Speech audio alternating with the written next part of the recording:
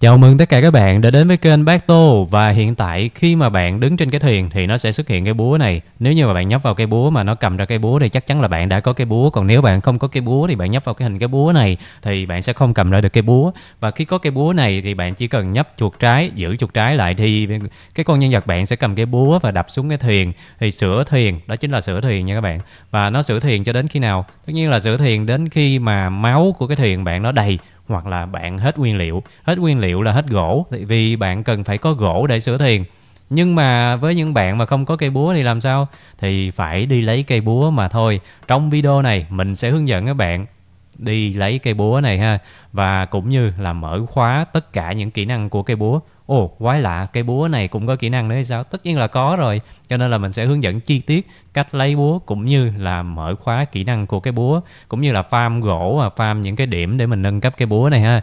Và trước khi mà đến video hướng dẫn cái cây búa này, lấy cây búa đó và nâng cấp cây búa, thì mình sẽ à, thông báo các bạn đến đến các bạn một cái thông tin cực kỳ hot đó là hiện tại bán robot đang giảm giá.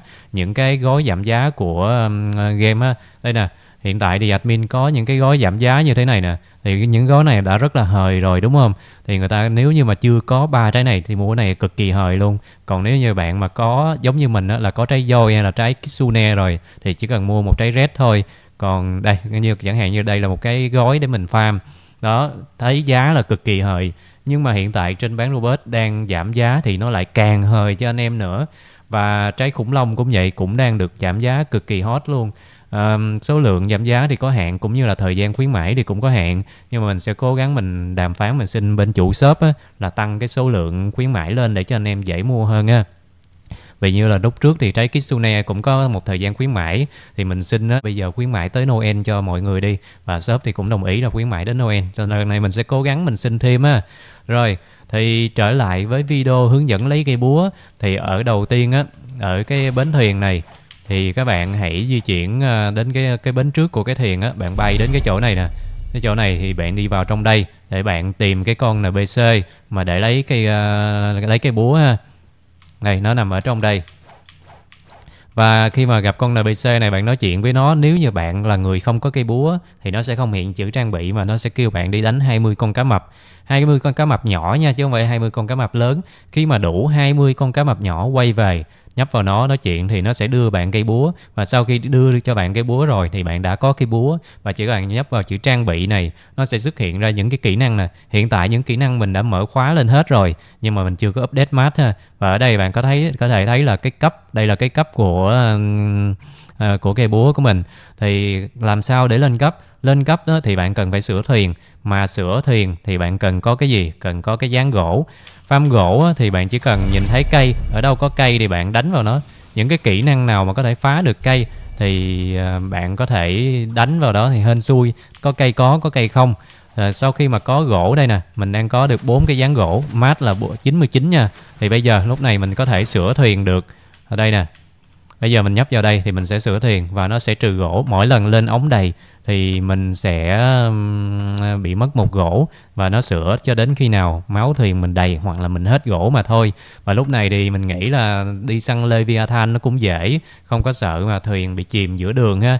Nhưng mà lúc này thì nó sẽ khiến cho tình cảm anh em là sẽ ờ, tan biến đi nhiều quá các bạn. Các bạn biết sao không? Ê, thằng này mày không có gỗ mày phải mắt chín chín gỗ được lên thiên đó ngày xưa là nổi chuyện mà go với lại không go là đã là xích mít rồi. Bây giờ lại phải thêm farm gỗ nữa. Nhưng mà không sao nó là một cái kỷ niệm vui các bạn. Khi mà bạn đi trên thuyền mà có nhiều người á bạn sửa thuyền thì nó sẽ là để lại cái kỷ niệm á. Nhiều khi là mình đang chơi thì bị thuyền tập kích bị cá mập đánh này kia á.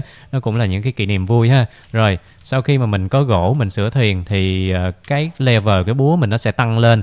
Và sau khi mà tăng được level búa thì mình sẽ về mình nâng cấp được cái này. Mình nhớ là cái này á nâng cấp cái kỹ năng này thì nó yêu cầu á, là cái búa mình phải đạt cấp 12 và sau khi đạt cấp 12 sau khi mà nghe điện thoại xong thì tôi quên là tôi nói tới đâu luôn rồi các bạn. À, có lẽ là mình nói là mở khóa những cái, um, cái này yêu cầu cấp đúng không? Ví dụ như đây là cấp 8 đây là cấp 12 cấp 18 cấp 25 đó thì cấp 25 mình mở khóa này những cái kỹ năng nó sẽ tương ứng với những cái chỉ số khác nhau. Chẳng hạn như là kỹ năng này nè nó sẽ tăng cho mình là 60% cái tỷ lệ ra x2 gỗ.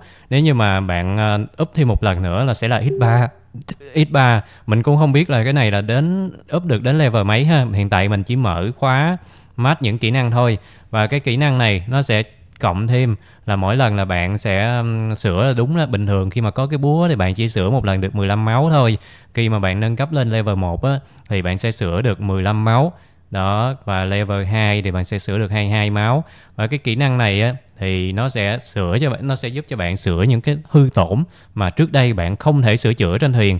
Nên là cái cái thanh máu xám á khi mà bạn lên trên cái thuyền bạn mà đang bị hư tổn đúng không? Nó có một cái thanh máu xám này. Nếu như bạn chưa mở khóa cái kỹ năng đó đó thì à, bạn sẽ không thể sửa được đến cái lượng máu trên nữa mà chỉ sửa được đến đây thôi. Đây gọi là cái hư tổn không thể sửa chữa. Nhưng khi mà mở khóa kỹ năng này bạn có thể sửa được những cái hư tổn này. Thì lúc này á, nếu mà bạn đập ở ngoài thì bạn chỉ là sửa bình thường thôi. Nhưng mà bạn khi bạn là vào cái chỗ á, mà cần sửa thì đây bạn sẽ canh nè. Bạn canh những vào những cái chỗ này á, thì bạn sẽ sửa được những cái hư tổn mà không thể sửa chữa ha. Đó. Đó các bạn thấy không? Như vậy thì cái lượng máu mình nó được cộng 8 máu mát. Và nếu mà bạn sửa theo những cái chỗ mà cần sửa như thế này á thì cái thuyền mình nó cũng được phục hồi máu nhiều hơn là bạn sửa thông thường. Như vậy thì bạn cũng có thể tiết kiệm gỗ được còn nếu mà bạn sửa thông thường vậy là chỉ hồi được 15 máu mà còn không thể sửa được cái hư tổn kia, như vậy là lúc này cái thuyền mình, nếu mà đi nhiều người thì chắc chắn cái thuyền mình nó sẽ bất tử luôn á các bạn. Đó, nên là cái cố gắng mà sửa những cái hư tổn không thể sửa chữa này ha, kỹ năng này nó rất là hay và quan trọng. Ban đầu thì mình hơi ghét cái kỹ năng này, nhưng mà khi mà làm quen được rồi thì mình cảm thấy nó khá là bình thường. Nếu như làm trượt thì mình sẽ không được cộng vì nó chỉ có 4 lần thôi. Đó, trượt hai lần thì mình được cộng 6 máu. Rồi, bây giờ đến cái kỹ năng cuối cùng mà mình mở khóa, kỹ năng mà yêu cầu level 25 á, và nó yêu cầu đến 5.000 cái điểm valor. Thì nãy giờ mình à, chỉ nói cái phần này thôi mà không nói đến cái điểm valor này á. Bây giờ mình sẽ à, chỉ luôn các bạn. Nãy giờ thiếu sót ha khi mà có được cái búa đó thì uh, bạn sẽ ra ngoài biển và bạn đánh những cái sự kiện trên biển thì nó sẽ được cái điểm này ha. Và cái điểm này á, thì bạn đánh cái con mà được nhiều nhất thì là cái con cá mập. Cái con cá mập rainbow thì được tới một ngàn điểm con du biển thì mình nhớ là ờ, ba trăm rưỡi ba trăm rưỡi. Nhưng mình cảm thấy rất là thích đánh cái thuyền nha tại vì cái thuyền một cái lên trăm mấy ba cái thuyền cái là cũng khá là nhiều. Tính ra đánh nó còn ngon hơn du biển mà còn dễ và dễ hơn đánh cá mập là cái chắc luôn.